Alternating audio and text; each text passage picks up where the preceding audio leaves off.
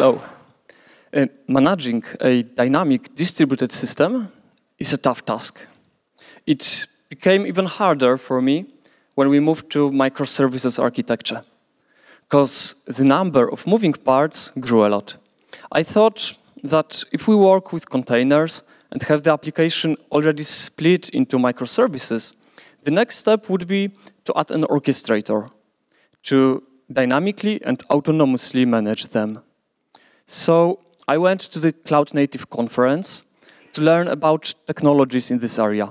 I saw the cloud native landscape with tons of useful technologies, but I didn't learn what this cloud native is really about.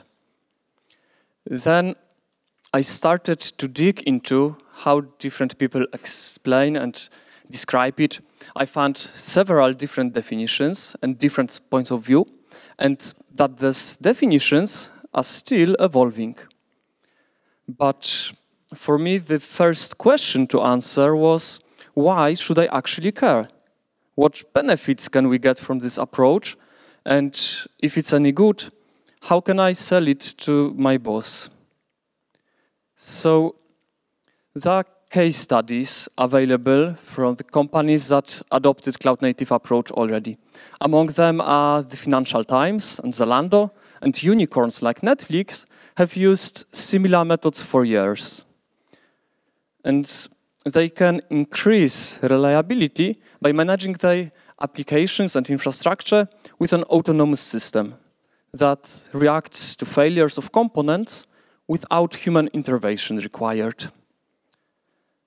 And at the same time, they increase the velocity of delivering features to customers. So having a self-service platform managed by software enables them to deploy changes faster by orders of magnitude. And this is how Netflix sees the relation between those two. So increasing the rate of change results in lower availability and to improve both, you need changes in technology and architecture. And they also put less work into the mundane management of growing infrastructure. So now all routine decisions are made by the platform. And also the infrastructure costs can go down with better utilization. So the next question for me was, how can I implement this cloud native approach to building and running applications? And among the different methods I found, there are the three that are most often advised. And first of them is to split, so to build your applications into containers. So it gives you the great benefit of standardization. It lets you standardize on a single package format, one way to deploy, and one way to control the application. Second is to manage those applications with an autonomous orchestrator.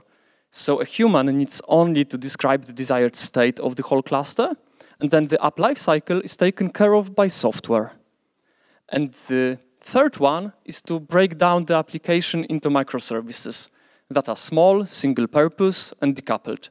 And you benefit from them being easier to develop and update, and cheaper to operate.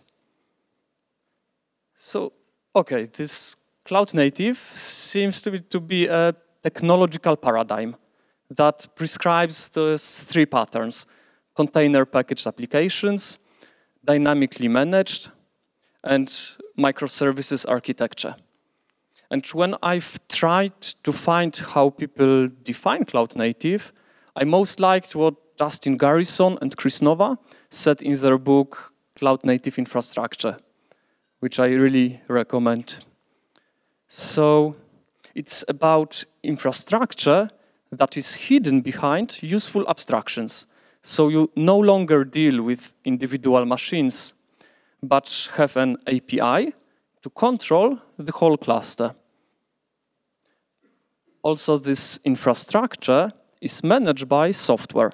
So there is this autonomous orchestrator that constantly makes sure that the cluster is in the desired state.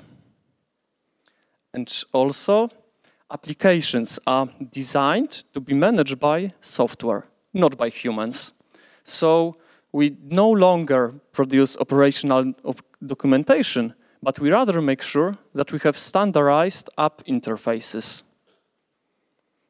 I am Tomasz Tarczyński. I work at Gigaset, and thank you very much for listening.